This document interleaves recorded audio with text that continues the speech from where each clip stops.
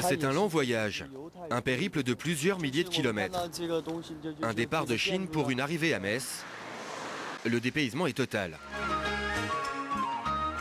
Cette classe d'élèves chinois est en France pour quelques jours dans le cadre d'un échange avec le lycée Cormontaigne. L'établissement est en effet le seul en Lorraine à proposer l'apprentissage du chinois en deuxième ou troisième langue. Cette semaine, les élèves français reçoivent donc leurs homologues chinois. C'est vrai que leur premier souci, c'est de prendre des photos. Euh, ils mitraillent beaucoup. Là, ils ne sont pas avec leurs correspondants français. La communication est assez difficile parce que euh, les jeunes Chinois n'apprennent pas le français.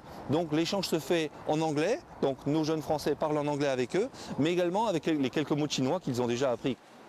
Ne pas en perdre une miette.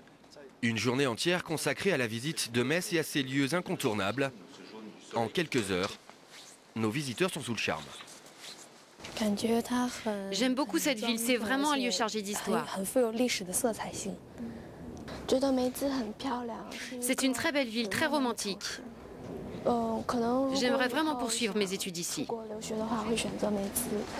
Une semaine de découvertes et de rencontres. Après, il sera temps de rentrer dans leur ville de Shijuayang, située à 200 km au sud-ouest de